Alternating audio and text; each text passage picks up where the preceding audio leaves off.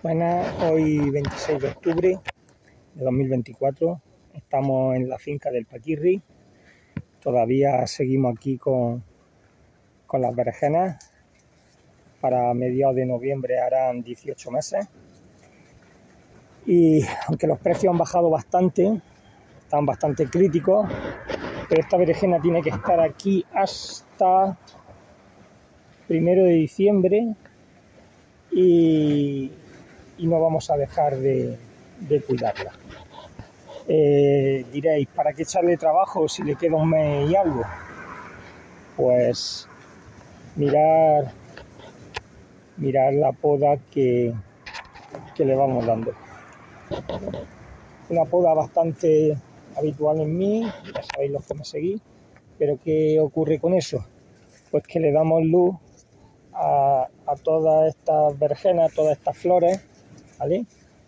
¿Y qué es lo que ocurre? Mirad como todas esas flores ahora revientan. De hecho, esto está recién podado y ahora os voy a enseñar las zonas que ya llevan unos días podadas porque, bueno, esto se va haciendo, los días que nos recogemos son los que nos dedicamos a la poda. Eh, ¿Por qué gastar mano de obra en poda cuando le queda poco tiempo? Pues porque al final es una inversión. Eh, cuando, cuando vamos a recoger, eh, también es mucho más rápido. Entonces, eh, eso nos lleva a que recojamos más rápido, a que no tengamos problemas de, de pudrición. El tema de las plagas da igual, porque las tenemos totalmente controladas. Ahora ya que eh, los días son más cortos y la temperatura mm, diurna ha bajado, no pasamos de los 28, 30 grados como mucho, mínimas de 14, 15, 16 grados. Pues eso nos hace que también nuestro sistema de trabajo, que es con vida, microbiología, megarricium, bacillus subtilis, baviera usiana, todo eso hace que, que funcione un poquito mejor, ¿vale? Eh, esta zona que llevará aproximadamente ya una, unos 10 días o por ahí podada, ¿vale? Pues como podéis ver, ya se están otra vez vistiendo la berenjena,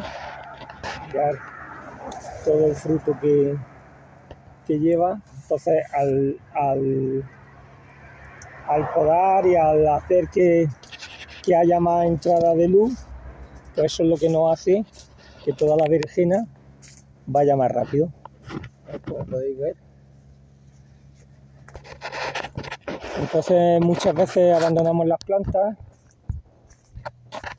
y no, no se deben de, abandonar. Por lo menos yo soy de los que de, que, de los que la cuido hasta última hora. Porque es lo que os digo, o sea, eh, eh, nos cuesta bastante menos trabajo recolectar. De hecho, cuando entramos a recolectar, pues una persona se recolecta en torno a, mil, kilos diarios.